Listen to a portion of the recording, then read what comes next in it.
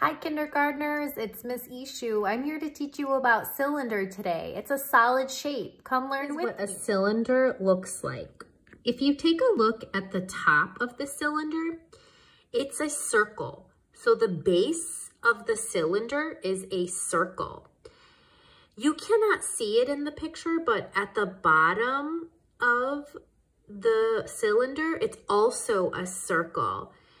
Now this cylinder has two circle bases and the sides of the cylinder are rounded. I'm going to teach you how to make a cylinder. Come do it with me. I have this from my bathroom at my house. It's from the toilet roll. So maybe you can use this or maybe from the paper towels in the kitchen. Now, what's really cool about the cylinder is that it has space in the middle. You could see that I'm putting my fingers in there, my as many as I can, and there's space in there.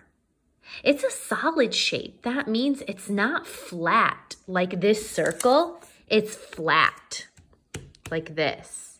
But this cylinder is a solid shape, so that means that it has space in between the shape. Now, remember I was telling you that the cylinder has a base that is a circle? I made two circles. I just kind of traced them like this with my um, pen or pencil. And then I used the scissors and I am going to use tape that I have at home and I'm going to just tape, because I want to make a cylinder. So I'm just going to use tape to tape two circle bases on my, my cylinder shape. There's one. Now I'm going to flip it over and I'm going to use my tape and now I'm going to take it and put it on top just like that. Well, look at that. Miss Icho just made a cylinder. And let's test it out. Can it roll? If you put it on the side, it can roll. Yes, it can. Can it roll if I put it like this? No, it cannot, but it stands still. See? Cool. I want to go on a cylinder hunt. Come so I'm walking around in my house and I went into my kitchen and look what I found. I found a cylinder. Check it out. This Clorox wipe is a cylinder, the container. You know why? Because it has the circle base and at the bottom it has a circle base. So two bases and if I open it up, it, it has space, so it's a solid shape. And it has rounded sides, just like my cylinder. Let's wow. see if I can find some more cylinders in my kitchen. I'm gonna check my pantry. Oh, wow. This can is a cylinder. It has a circle base, a circle base, and round sides. There you have it. Maybe you have a can of beans or any kind of can in your house. That's a, an example of a cylinder. It's a solid base. Continuing my hunt in my house for cylinders.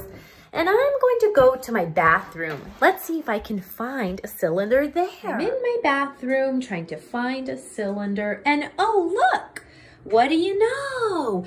This is a cylinder right here. It's a container and it keeps cotton balls in there.